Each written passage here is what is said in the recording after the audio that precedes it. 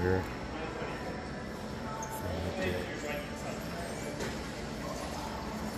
I love this stuff.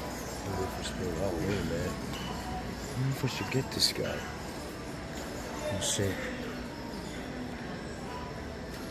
I really do like this guy a lot. Oh my god, someone's got a hole in it. It's got a hole in it, man. Changed my mind.